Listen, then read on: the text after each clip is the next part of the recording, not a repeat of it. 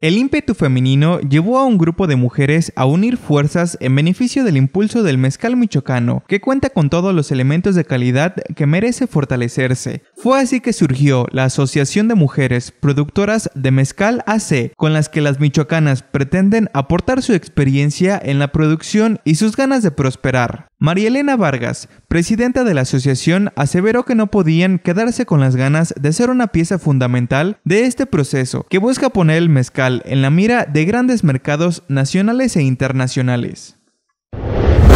Las mujeres somos las que hemos estado siempre en los stands. No nos importa a veces el estar de pie 10 o 12 horas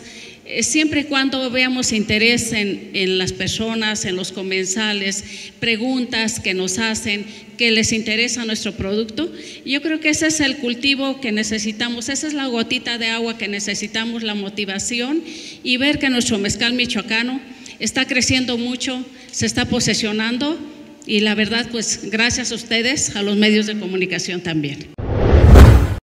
Asimismo, expuso que espera contar con el respaldo de las autoridades y las instancias para que este camino no se enfrente a complicaciones monetarias o de tramitología. En tanto, Elena Calvillo Arteaga, secretaria de la asociación, expuso que este trabajo dejó de ser exclusivo de los hombres y ellas se hicieron notar, a pesar de que su labor ya se realizaba desde hace años. Esta asociación no fue algo que hiciéramos de un día a otro. Este proyecto viene de tiempo atrás y surge en la necesidad de fortalecer la producción mezcalera, viendo desde una perspectiva de comunidad, donde la actividad deja de ser tema de hombres y pasa a ser inclusivo de toda la población productora. Hoy estamos legalmente constituidas con 21 mujeres fundadoras, 26 en total miembros activas, de los municipios de Sitio, Tarímbaro, Charo, Zacapendo, Morelia y Madero, concretamente de la comunidad de Túcuaro, cuna del mezcal de Michoacán,